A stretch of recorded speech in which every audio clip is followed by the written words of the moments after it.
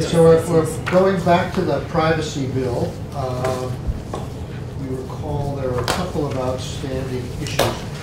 Based upon hallway conversations I just had, it really seems very unlikely that we'll vote on this today. Uh, But hopefully, we can put things in motion, so maybe when we first meet tomorrow morning, we can uh, uh, kick this baby out. Uh, The first thing was the, the issues that were outstanding I had was the audit, and uh, despite the fact that I remember asking people to set this day aside to come back to us with uh, suggestions as to what should be in the audit, apparently due to vacations and stuff, that has not fully happened yet. Um, So we'll get an update on where that is. And then there was the issue of uh, modernizing the biometric data, which you'll see on page three of this bill. And then we had the, the big issue was whether we were going to go with the California version, uh, and apparently many, many states already have this in place, uh, to deal with how software companies and others deal with students in terms of privacy issues, or a more, uh, I guess expansive, it's called the compromise uh, uh, version. So, so PIPA two Right. point oh. We had tentatively agreed to go to SIPA two, Point oh, I think. um, I think we But. David uh, sort of warned me that there was um, some issues in there that uh, industry people, uh, not industry people, no, this is, the issue here was that SIPA two dealt with sort of softer privacy information that might appear in a yearbook or stuff like that. And uh, it affected schools, and then we'll get into this, and school districts in terms of how much administration they would have to do. That set up flags. I didn't understand that before. But that might be an education committee issue. And those are the kinds of people and witnesses we generally don't deal with. So I made a call to Senator Baruth, and he is very backed up at this particular point to take up that kind of issue in terms of what the administrative burden is. Uh, He is willing to take up this bill uh, next week, it may sit on the calendar for a while, to at least deal with the more traditional some PIPA issues in terms of industry being able to comport with the privacy issues, which apparently all reputable companies now have sort of come into compliance with, and it would just be maybe protecting us against bad apples. So I think I should hear from David, that shouldn't be much of a problem, and we could make that decision again now in this discussion. The fourth issue was um, the issue of, if you recall, there was a lingering ISP issue as to whether or not we would ask the ISPs to maybe put some sort of statement on their form saying we do share data or we don't. Uh, Senator Brock, I think you thought I was just killing myself over nothing here, because they have privacy policies, but they're very hard to read and stuff like that. So sort of backed away from insisting there, because I got approached by industries like Comcast and other people saying, we want to be heard, if you're gonna put that in, and I said, well, we're not, we're not the time to deal with this, but there is one possible thing I'll suggest at the end, if the committee's interested, we might go down an even softer approach uh, on that. And the last thing was the breach, um, which I have had a suggestion here, think, which is very short and sweet on page 13, which we will look at. So with that, I'm going to turn it over to David to walk us through uh, draft number 2.1. Okay. Um, For your record, David Hall, Legislative Counsel. Um, So this right now is crafted as a strike-all amendment, committee amendment to S Bill 110, which you do have in your possession. Um, The changes relative to the last time you saw this um, are highlighted in yellow. It looks like you all have color copies, so that's Yeah. good. Um, Section one here, this is the issue of the privacy audit, audit, and to whom it is committed. The change is to go to the Agency of Digital Services. Um, You've discussed whether it should be Chief Privacy Officer. You decided not to have yet the Chief Privacy Officer, and so right now ADS is the uh, nominal leader of this effort. And it seemed like it was a bit of a hot potato situation where nobody really wanted it. So, um, do, do we have a sense whether the Agency of Digital Services? They're here, They're here, and we will hear briefly from them in terms of great, okay, um, how much they're gonna want to do this.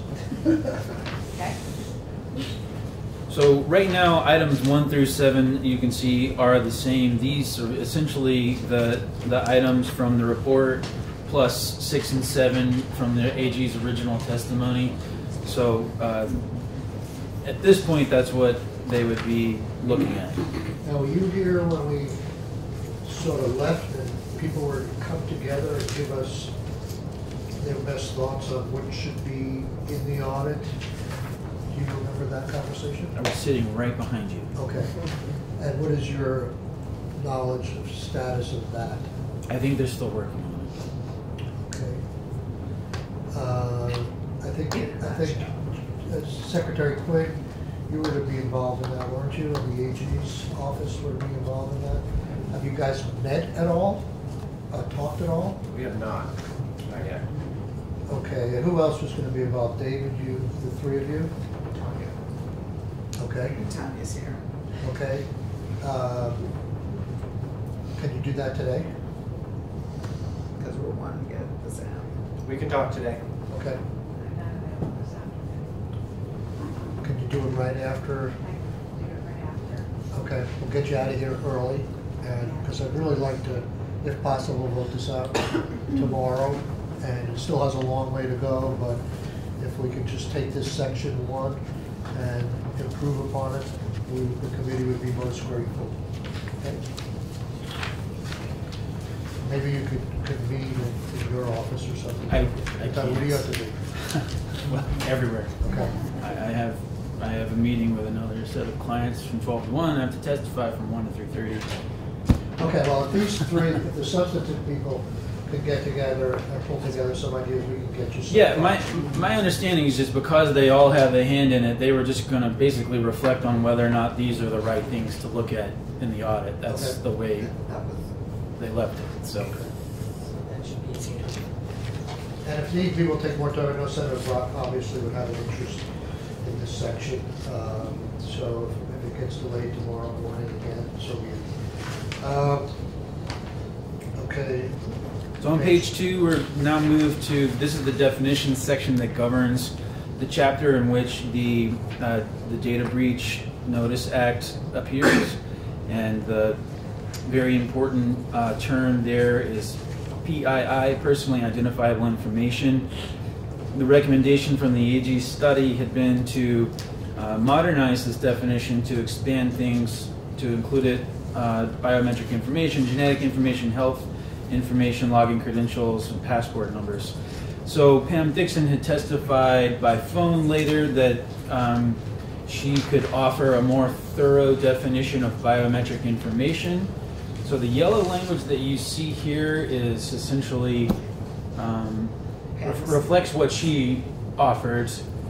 Um, I did send this to her. I have not heard back from her, um, but I know there was also some work outside the room by industry on looking at what a couple of other states to do. I, I have no idea who likes this definition and who doesn't. Um, I guess the one thing I'll note is that I do use the word includes here. And for purposes of our statutes, as you're likely well aware, includes denotes a non-exhaustive uh, list of examples that could constitute biometric information, but this is not the only stuff. And ultimately, you know, whether or not biometric information is implicated in a breach is up to both the company affected and to the AG's office as the enforcement uh, people on the subject matter. So that's all I have on that. Okay, Where did this uh, list of definitional information regarding biometrics come from? The yellow language? Yeah. Pam Dixon, Dixon. World Privacy Forum. the woman who testified, remember, was such a whiz. Patterns of gait. Sleep data that's privacy related. I mean, it's hard for me to envision these, this definition, quite frankly. Yeah, I think the trigger here is that whether it's the imagery or it's patterns or it's um, some other kind of data, it, it would be used singly or in combination to establish individual identity. So That's it it, would, I mean- it, Sleep data sure. as a, as, as an identifier, I mean, is that something that is generally accepted in the scientific community as a measure, as a biometric identifier? I have no idea. I would like to have some idea if if we're putting a definition into law that it's actually meaningful. I think we might hear from John Quinn. I think that the thrust here is that there, at this point, um, a lot of individually uh, identifiable patterns, such as your heartbeat, that distinguish one person from another. And so I think, Like a again, fingerprint. yes, Yeah, like your heartbeats are. your car knows, your BMW knows it's you by your heartbeat and won't start unless it's you. I, I don't know. The, the the bottom line here, again, though, I want to underscore is that this is not the only list of stuff that could Right, qualify this as is includes, biometric But not information. limited to. Exactly. So it could be any of these things, and it could be a thousand more. That we haven't yet identified our individual, like all the giraffe spots are all just like our fingerprints. I hadn't known. And so, as I said, if there were a breach of some sort of uh, data by a company and they were subject to this law, they would have to make the first analysis. Well, we lost this information about people. Does that constitute biometric information under Vermont's law? If it does, then we have a duty to report. I think that frequently happens in consultation with the AG's office, but not always. And then the AG's office will also have the duty, if it chooses to enforce or not to enforce, to say, you lost data, it constitutes biometric information under our law, you have a duty to report. Yeah, it's, it's a tricky, if you read the whole thing through, I mean, you could eliminate everything after line eighteen, and you might be le- left with a more confusing situation, because it says physiological, biological behavior character can be used singly or in combination with each other, or other identifying to establish individual identity. You could end it there, but we already have in law things like genetic information, health information, so I guess these are sort of new wave, new age kind of things that sort of fall into the same. Well, actually, they're all being currently used in some capacity, is my guess, as personally identifiable characteristics. So it's not, it's not exhaustive. Right. Gives you a good notion. It's inclusive, It's inclusive, not exhaustive. which is what we try to be at home. So that's it that. that piece. The next piece, uh, starting with section three here, um, the saga of SOPIPA continues. Um, I think we've talked about SOPIPA a number of times, what it does as far as um, the prevention of targeted advertising, collection of information and data uh, during the scope of use of a particular educational product for K through 12 purposes. I'm sure that all rings a bell for you at this point.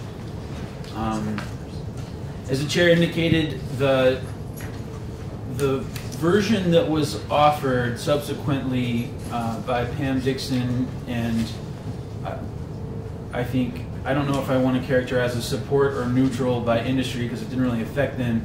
Had this last component added to what would otherwise just be SOPIPA, and that was this putting this responsibility on schools to disclose in certain ways how it uses and disseminates student data, specifically directory type information, which is already addressed in federal law to some extent. This would have gone further. It would have required a certain kind of notice.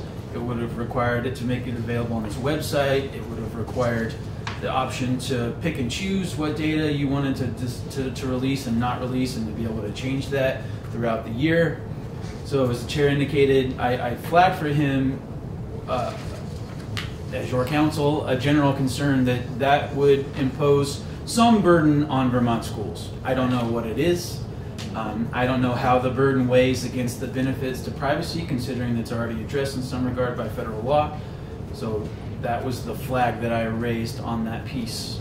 And I have sent this along to Senator Baruth, and I have not heard back from him. I have spoken to him. So, his reaction was, he also feels pressed for time. He has no time this week. He could certainly look at, I think it's on the calendar, and he could look at the more common version of SOPIPA uh, next week for a half hour, an hour, uh, get the players in if he wanted to, if he wanted to.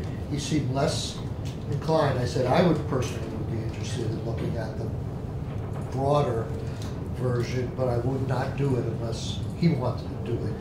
Because I think, you know, those cast of characters, if you're talking about the NEA and the Superintendent's Association, and anybody else who might be affected by this is more in his bailiwick. Uh, So I told him, you know, if you want to add it on, we'll look at that potentially. We have to look at it as an amendment, maybe a friendly amendment, but we're not going to do that here. That was an, an, a, a chair's position. If other people feel differently, that we could talk about adding that back in.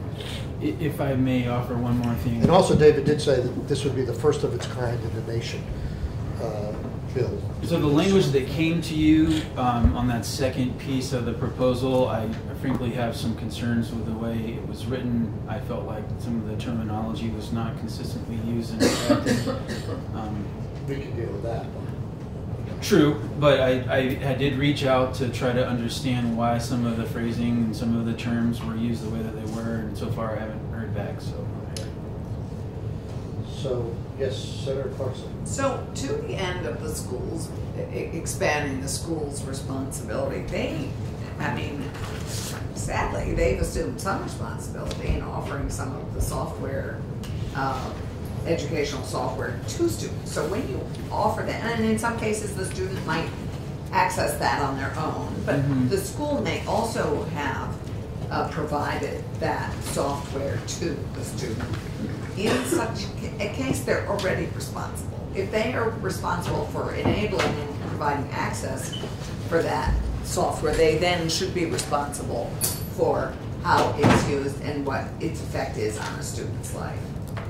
Uh, maybe all true. I, I want to say here that part of the problem raised by tacking that last piece on to SOPIPA is that they're not really related except at the broad level of student privacy.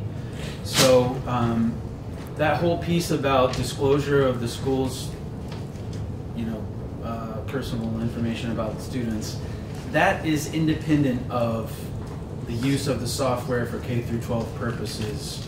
So I think your comments are directed at that first piece. Uh, the second piece is not governed by the first piece. It really relates to how does the school disclose and to whom does it disclose directory information of students, uh, which again is covered by FERPA Right. and um, whether and how you know families can opt out of that information, how they're supposed to receive that information, et cetera. So that's the that's the onus, that's the burden on schools relative to directory information. So BIBA relates to what data am I collecting about you Yeah, yeah, it. I use your math builder program. So, so in some ways, they actually already have that responsibility. Every school takes on, you know, deals with what it's choosing to disclose or not. So that's true. So under the federal law, um, they have a duty to annually disclose how they manage your education records, who can see them. Um, they also have to tell you what they consider to be directory information and how you can opt out of its use. Um, This is one step beyond FERPA, these provisions. that's kind of it. Right.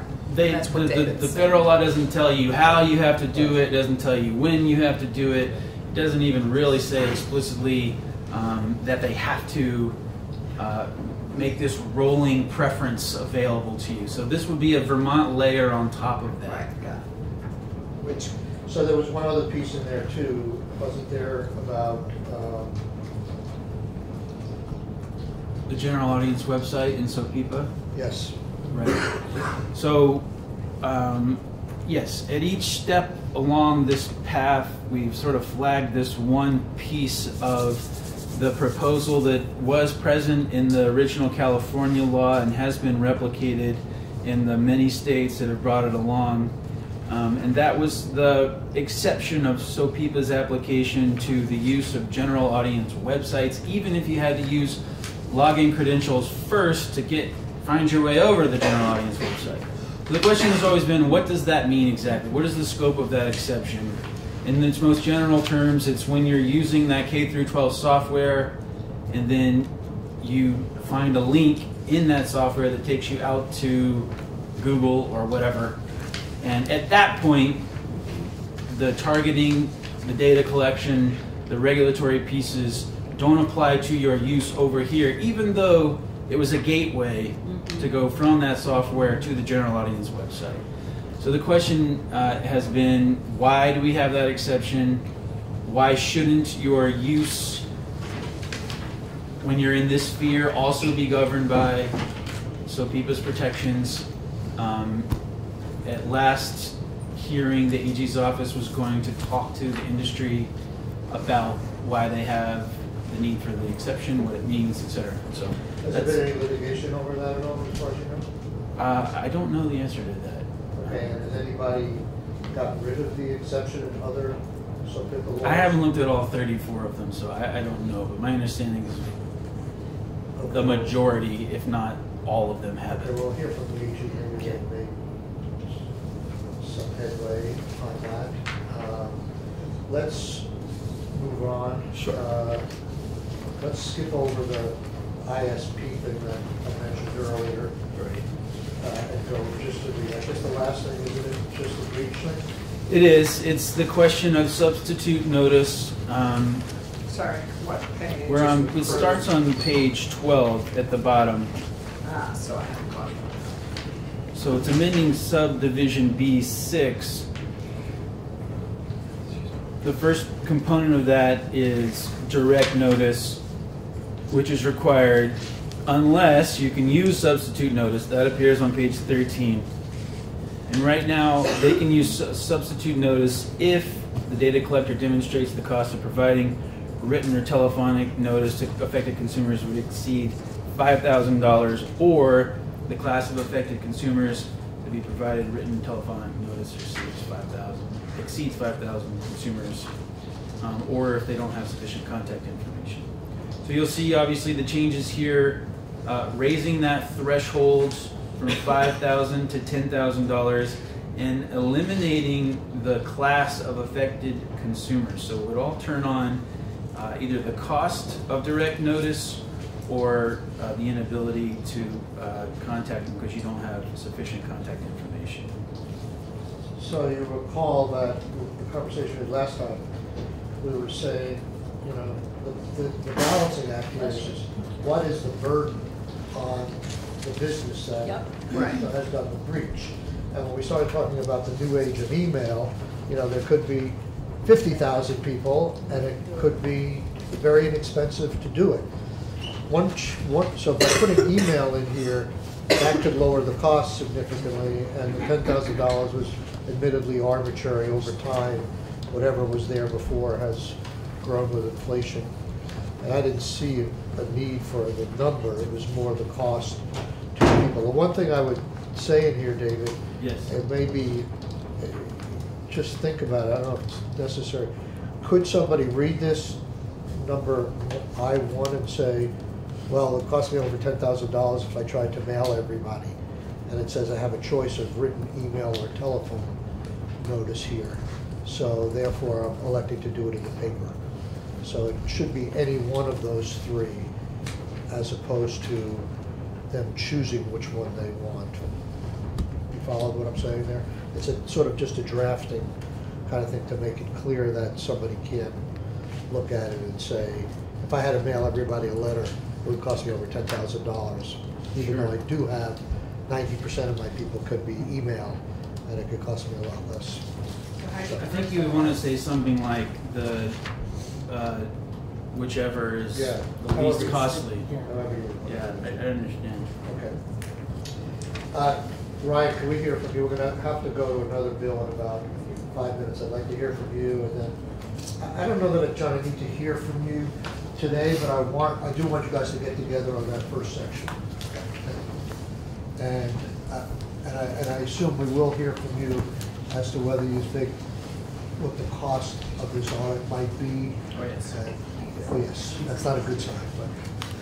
No, that I'm u- I'm means used he came to up it. with a quick number and it's very affordable. You want to do this, don't you, John? He's ready to do it this summer. He likes the test. We can give you more time, if it costs us less. Okay, I'm gonna steal it. Let me cut it over. All right, do we need to? So I think the first part, we could sort of move on if you guys are gonna meet in the next hour or so. See if you have any suggestions on that. Let's talk about SOPIPA. Sure. Um, And for the record, Ryan Kriger with the Attorney General's office. I'm Charity Clark, Attorney General's office. Um, So as far as the SOPIPA part goes, uh, what I'd like to suggest is, as I understand it, the version in this is the original California law. Is that correct? So as, as I'm, understand it, there's kind of, let's say there's three versions that we're looking at here. There's this version, the original California law. Then there is the enhanced version, which was negotiated between Pam Dixon and the industry folks and And has so that- tweaks throughout. Just, just to be clear on that, when I hear the word, is that the- would be referred to as the compromise and Yes. negotiation? Correct. Well, what David has been saying to me is that, for the most part, the industry has no interest in that, so who did they compromise with, or who did they negotiate with? The third party should have been the schools, rather than the industry. So, so what I'm, what I was going on to say is, the enhanced version also has those two extra sections that are the FERPA sections. Oh, what? The FERPA sections. Right. The school sections. Right. So what, what I would recommend is that if the school sections are gonna come out, because the education committee Right. doesn't have time for them, I would revert back to the enhanced version minus those two sections, not the California version. Okay. And what is, That's what this is? Okay, great. So that, now, as far as the, let me just speak to the school versions and, and I'll, I'll tell you, um, we, we had three hearings with regard to, uh, all of these. There was, so SOPIPA raised in all of those hearings, and we did, you know, we did actually reach out to, you know, agents of education. We did try to get those folks in, in the room. Um, Did they get there? I can't remember. I don't I recall the big, think, any I of the think ones I there was may have been a presence in the final hearing. So, I mean, we, we weren't, we were trying to bring all the stakeholders in. We did, we did try to do that. Um, all I would say about those last two sections is, under FERPA, there are limitations on schools' ability to share this directory information that includes date of birth and, you know, information that parents and students might not want to be shared. And schools are allowed, as, as David explained, schools are allowed to share this information if they get consent. They have to alert the, um, the um, parents. The issue, I think, why we have these two extra sections is if parents don't realize what their rights are under FERPA, then they don't exercise their rights under FERPA. So it's just as good as FERPA not existing uh, for that purpose of directory information. And the purpose of this was to allow, to enhance the ability of parents and students to know their rights to opt out of the sharing of that information.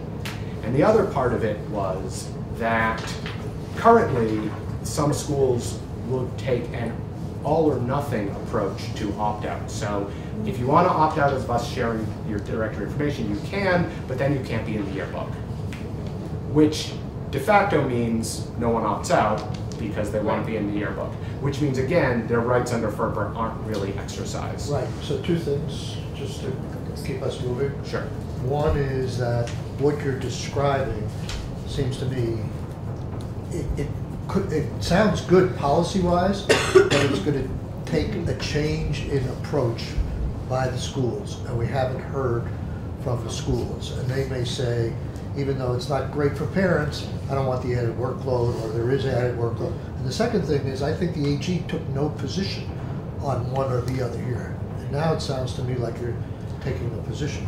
I, I just want to explain the, the value of those sections. I understand that they're coming out, and, and we may talk about that in, in the other committee and have that conversation. Is, is there some way we can accomplish that um, and actually educate parents better about FERPA without, uh, you know, without necessarily going down the, fully down those two roads? I mean, is there, isn't there something we could do and education could do for before them? crossover. Well, just having, di- I mean, and educate parents in all sorts of good ways. I mean, There, there- there, there may be other options, certainly. I mean, th- those have not been discussed at this stage. Um, So th- that's basically the SOPIPA section. Um, What about the, thing that David was talking about, about the exception? Oh, so my understanding is that we're talking about that one section that, that some, some advocates had recommended removing. Um, And I I do want to specifically refer to uh, Can you help us find that, David? I think it's on page 11, uh, 2443F sub 3, line 10, apply to general audience internet websites. So the position of the Attorney General's office is, we, we did, we did have a conversation with uh, the uh, industry advocates on Friday. They expressed their reasons why they think it needs to stay in. I'm not gonna try to characterize their reasons, I don't wanna mischaracterize them. Uh, we were of the opinion that the student privacy uh, interests seemed stronger than the arguments we were hearing. However, this committee has not heard from them directly as far as their arguments, and if it were to take out, then that would make us singular as far as, know, I think every other state does have this section in there. It may be because the argument was had in California and it made it in and then it just kind of got replicated through. I don't know that that is a statement of the merits of it one way or the other, but it would put us in a different position vis-à-vis all the other states. And that is, you know, Well, I for one apologize because I would like to explore looking at that exception, as I would like to explore the things about the parents. We just have not had time to do it. So it's frequently the case, we run out of time. and It's hard for us to bring something to the floor without having everybody heard. So, uh, certainly, completely understood. Um, I did want to note um, one other issue, just going back to the definition of PII, if you have a second. Yes. The definition of biometric, so this was a definition that um, Pam Dixon described to us as the gold standard. It was created by an academic somewhere. Um, But in, in that conversation on Friday, the industry folks said that they weren't in love with this definition. Um, If I recall, in the data broker bill for brokered personal information, there was a biometric definition. I believe this definition was the introductory definition, which was then negotiated into what ended up in the biometric, in the data broker bill. So one possibility, I think probably the easiest thing to do would be just to deal with it on the House side, and there'll be negotiations, and Well, we'll change if, it. if But- the goal is the same, and we just did it last year, unless there's been some changes, why don't we just use the one from last year? That's the other way to go, and I, and I, I suggest that that. easily. Yeah, so Probably using- a little bit more modern than what exists in current law here, so. And, and that would also be consistent across our We can do that. statutes, which would be great. Uh, on the other hand, I'm, I'm, I'm sort of reluctant to leave the gold standard. I mean, it's, it's, it's a gold standard according to one aggregate. Uh, I- I'll- It's I'll not say a that. gold standard as far as definitions of, of, in effect, dictionary definitions of definitions to look up. I, I think it goes too far, frankly. No, okay. So we're gonna, well, I, I would say that only if it wasn't all in current practice, but I would bet us dollars to donuts. Many of those are already happening. I hope that on all of these three things, we can get the message to Michael guess that's what it's Yeah. about. That, you know, that frequently happens when bills cross over, you know, you do your first shot and then the other committee says, we could do better. Yeah. Uh, So I'm gonna encourage that they look at these issues, continue to look at these issues, and it's not that we rejected them as much as it was a time issue. Yes. And and in addition, I mean, that biometric argument happened in that committee last year, so, you know, they have some experience. Anything with the breach, you okay with that? Um, I mean, it seems, it seems like a reasonable change. I, I agree with your edit that it would want to be clear that the least costly version was Right. under ten thousand, however that would be done. Um, Oh, uh, one other thing I did want to mention that came up on Friday with regard to login credentials, including the username and password. There's been an argument that if you're talking about a data breach involving credentials, the notice really is a very different type of notice than all the other kinds of breach. What a lot of states have done is for a credential breach, they've almost created kind of like a separate subsection for that kind of breach. Because basically, if you have a username credential breach, um, usually what they do is the next time you log in, they say you need to change your password because there was a breach. It's just a different, but it only makes sense. And also, for example, you don't want to notify people about their need to have a credit report run if you lost your username and credentials. It's a totally different animal. So again, I, I wouldn't let that hold up us here. That could be a discussion that happens on the other side, but it's something I want to raise. Good, thank you. Okay. Okay, so tomorrow we'll, we'll carve out some time to finish this up and we'll hear from John. Hopefully they'll have language for us on the audit and we'll, you know, depending on how reasonable John is in his money request, we may put money in or not. Money could, Just teasing.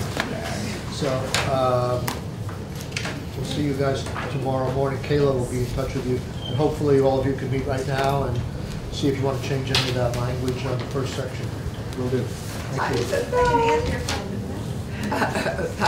you.